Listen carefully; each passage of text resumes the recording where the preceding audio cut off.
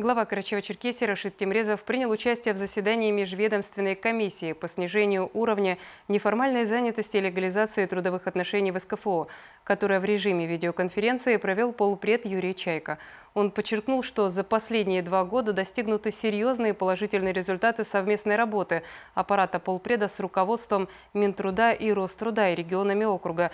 Результат совместной работы межведомственной комиссии по легализации трудовых отношений в Карачево-Черкесии наблюдается как в части увеличения легализованных работников, повышения налоговых поступлений в республиканский бюджет, так и в части снижения уровня безработицы, отметил Рашид Темрезов.